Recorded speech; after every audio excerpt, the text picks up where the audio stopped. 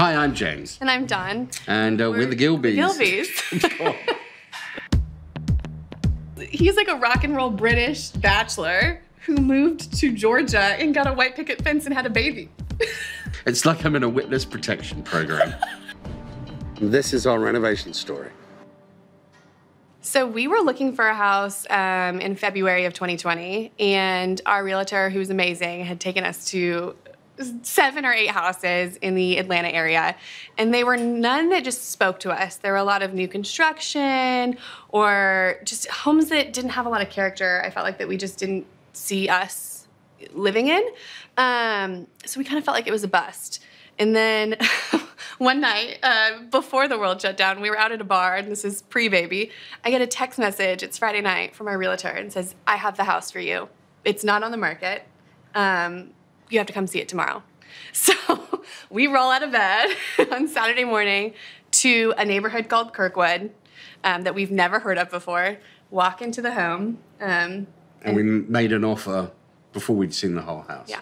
We loved it that much. When we first saw the house, um, it was bright blue. With a lime green door. there were trees in the front of the house that made it a little darker. Mm. The fence was falling apart. The exterior was interesting. It needed some work. Needed work. And there was sort of some twee aspects to it. And they'd done a great job in sort of making it yeah. you know, look nice.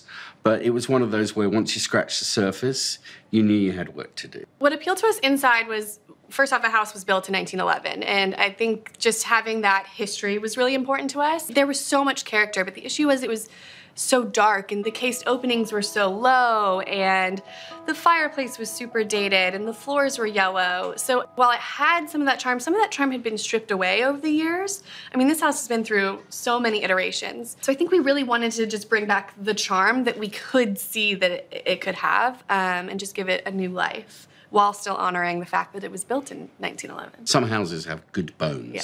And this house has great bones. So I started my career um, in set design in the art director world, um, and then pivoted to owning my own company and my own design firm. And I knew that I could get my carpenters and contractors in quickly to transform it.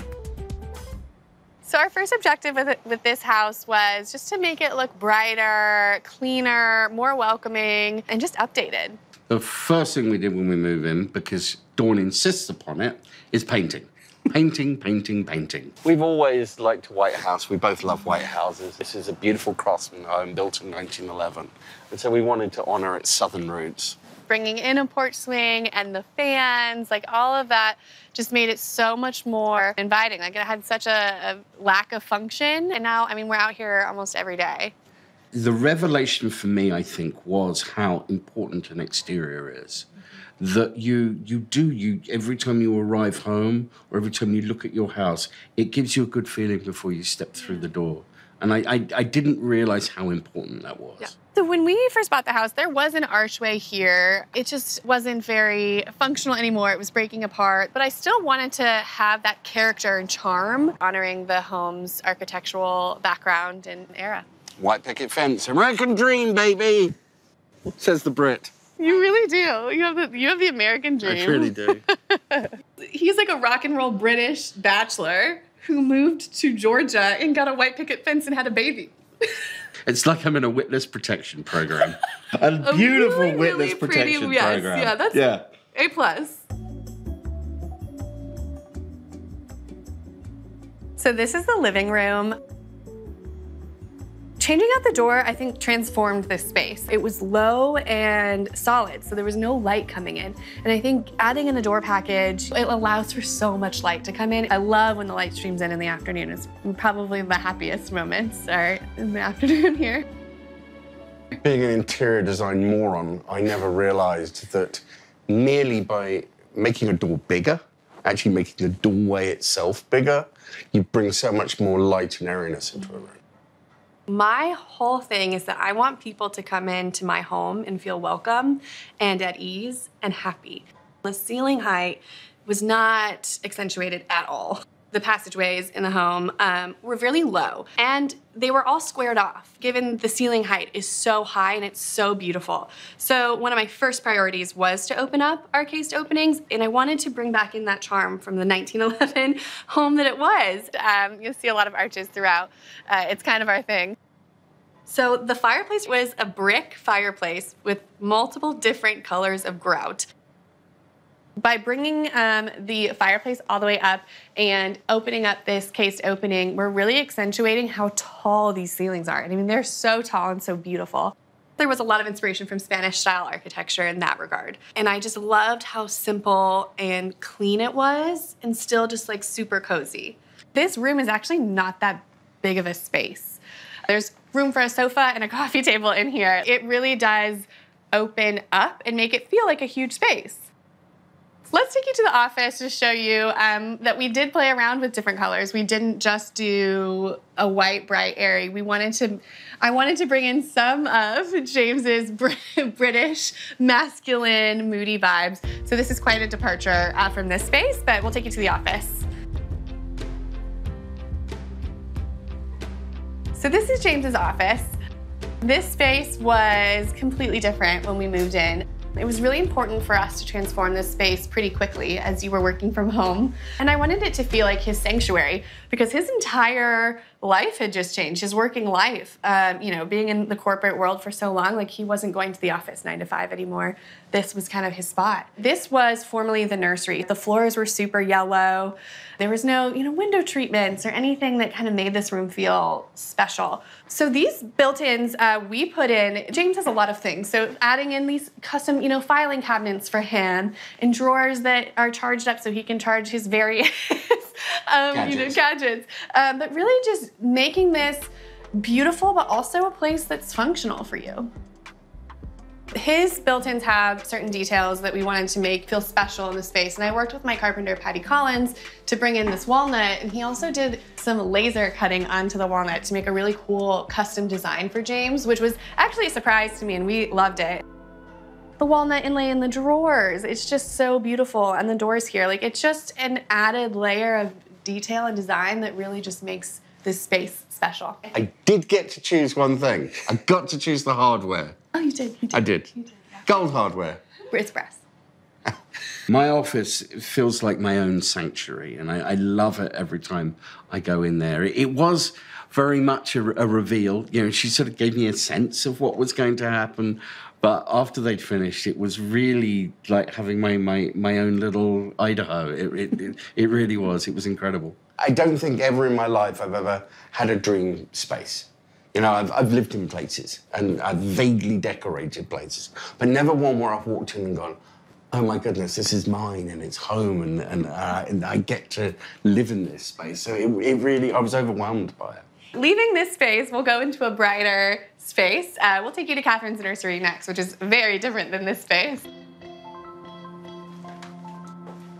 So this space is Catherine's nursery, and I've had this space designed before, you know, we even knew that we were having a girl. When we bought this house, I remember saying to him first day that we got the keys, March 20th, um, we were outside and I said, this is where we are going to bring our baby home to, um, which makes me cry because we did. Um, so we had we would sit on the sofa and from the sofa in the living room you can see catherine's room our daughter. And um, i remember looking at that room thinking someone should be in that room. I remember it, i was probably on a set and uh, had some downtime and i saw this wallpaper and i just designed her entire nursery around it and luckily, the, the, wallpaper did come in a different colorway. It came in blue if we did have a boy. I have a feeling she's been planning that nursery for 30 years. So this space was a playroom. So it was pretty much a blank space. So it was white walls, the yellow floors, and lower doorways as well. So we really wanted to make this space, you know, feel like Catherine's special, beautiful nursery. So instead of removing the board and batten, we put wallpaper above, um, and I think it just adds like that just gorgeous layer. Obviously, the wallpaper is very important to me, but it just added so much to this room. And then opening up the doorways, again, brings more light and makes a small room feel a lot bigger.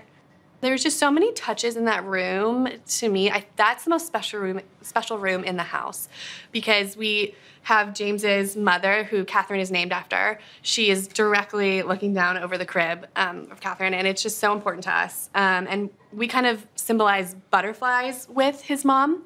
So there's a lot of butterflies in there, which makes it super special and important. So that room, I think, is just both of our favorite places. I love place it. to be.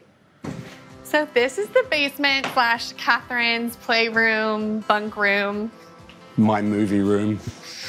So this space when we moved in was so stinky. Stinky. It smelled like a basement. It, it was a place you didn't want to be in. It always felt like a waste of space. Here we had this whole area, and it was just used to dump stuff. So the first step was to lighten and brighten everything. So putting in new floors, new carpet, painting everything white, adding a really gorgeous wallpaper to the ceiling. Just these little details that make it feel not like a basement.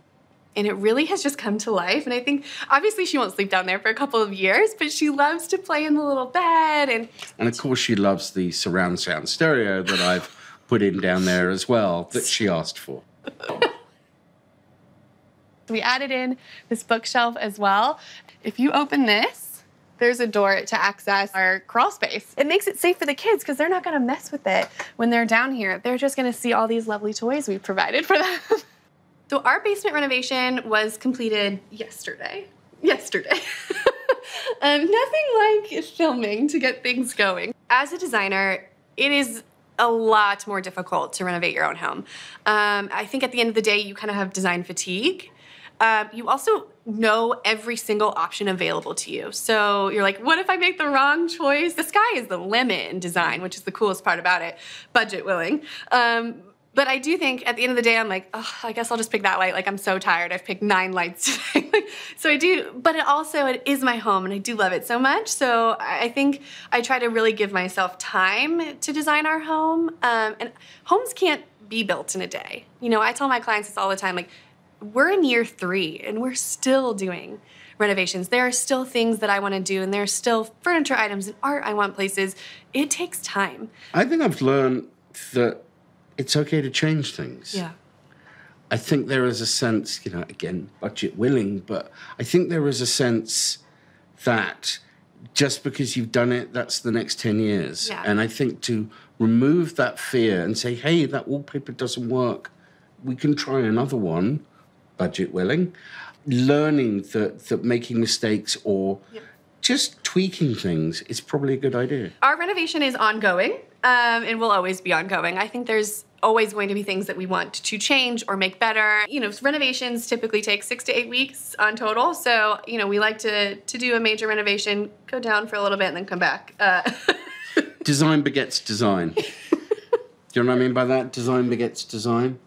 What do you mean? I mean by that as in we've designed one room and now we're going, oh, shall Yeah. we do the kitchen now? We are going to do the kitchen next. Are we going to do the patio? shall we do this next? It's sort of, it spreads like a disease across the house. a beautiful a good disease, a lovely disease. So, as this is my industry, um, I thought going into it that I wouldn't have any surprises. But of course, you do. And you learn so much doing your own home renovation. And I actually think every interior designer should go through a home renovation so they can better serve their clients because I know what it feels like to be pregnant and feel emotional when you want to have a fireplace on Christmas and instead you're sitting next to Tyvek. you know, I can so sympathize and have so much empathy with my clients. And I think that's probably the biggest learning experience is I know what it feels like. I can help you through this um, because it is not easy. Dealing with people's homes and money, the things that we work our lives for, like aside from our children, you know, what else is, you know, more precious to us? And that, like, it's just, it is a huge undertaking. There is no easy renovation. There is no, um, you know, ripping your, you're going to rip your house apart, and that is hard, and it takes 10 times longer than you think. It's going to cost more money than you think. You know, it's, it's a process, but is it worth it? A thousand percent. Would I do this all again? Probably n- yes. of course, I would do it all again. It's you know you, you don't just do it for aesthetic reasons. You do it for very practical reasons as well. You know, we were having a kid and we wanted a, a beautiful home for her. But um, do I enjoy it while it's happening? Not so much. But do I enjoy the results? Hell yeah.